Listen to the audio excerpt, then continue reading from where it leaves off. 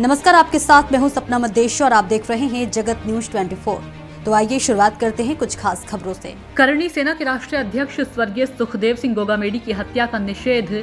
हर राज्य, हर शहर और हर गाँव में किया जा रहा है। 8 दिसंबर को महाराष्ट्र नंदुरबार ज़िले के मांजरे गाँव में राजपूत युवा महाराणा प्रताप सिंह मित्र मंडल ने भी स्वर्गीय सुखदेव सिंह गोगामेडी को श्रद्धांजलि अर्पित की और कैंडल मार्च निकालकर उनकी हत्या का तीव्र निषेध किया।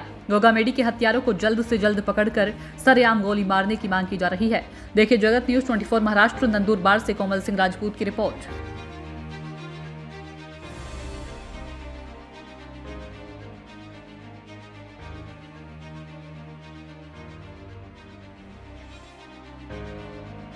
ऐसे ही अपडेट्स के लिए देखते रहें जगत न्यूज़ 24 और हाँ हमारे चैनल को लाइक, शेयर और सब्सक्राइब करना बिल्कुल ना भूलें।